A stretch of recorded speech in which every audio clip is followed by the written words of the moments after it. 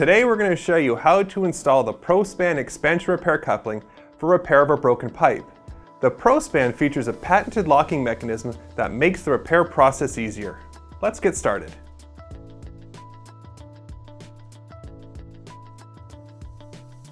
NDS ProSpan repair coupling, Schedule 40 coupling, PVC primer and glue, permanent marker, pipe cutter or hacksaw.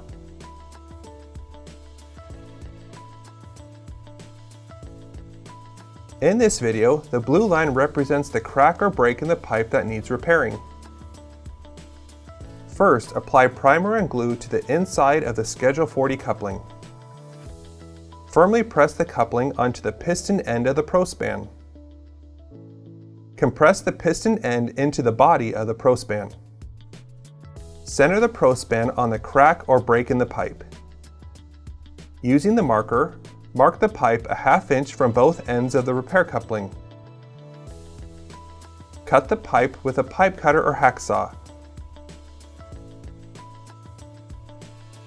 Be sure to remove any dirt and debris from the inside of the pipe. Now it's time to install the repair coupling. Apply primer and glue to one side of the pipe. Firmly press the piston end with the coupling of the ProSpan onto the pipe and rotate a quarter turn to ensure a secure connection.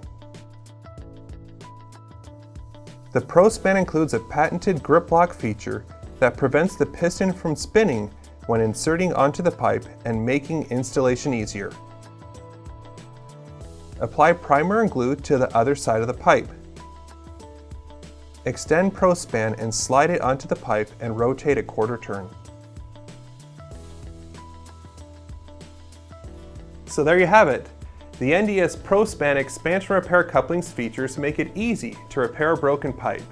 For more information on this and other NDS flow management, drainage, or professional irrigation products, check out our other videos or visit ndspro.com.